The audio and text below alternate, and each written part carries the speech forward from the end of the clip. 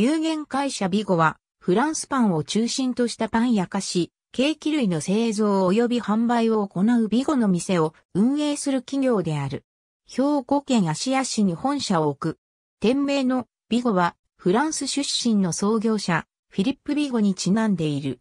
創業者であるフィリップ・ビゴは1942年9月17日にフランスのルマンで生まれた。1963年にパリでフランスパンの権威と称されたレーモン・カルベルに指示して製パンを学んだ後、カルベルの勧めにより1965年4月に東京で開催された国際見本市での製パン実演のために来日。その後、ドンクに迎えられ、ドンクの製パン職人健康史的な存在として、三宮、東京及び札幌等のドンク各店舗を回った。